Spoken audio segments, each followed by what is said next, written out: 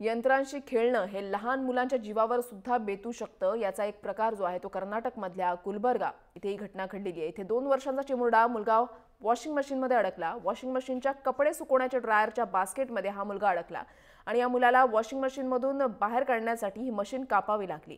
Washing machine बा बाहेरून कापल्यानंतर आतलं बास्केटसुद्धा कापून टाकण्यात आलं आणि त्याच्यानंतर या मुलाला बाहेर काढण्यात आलं.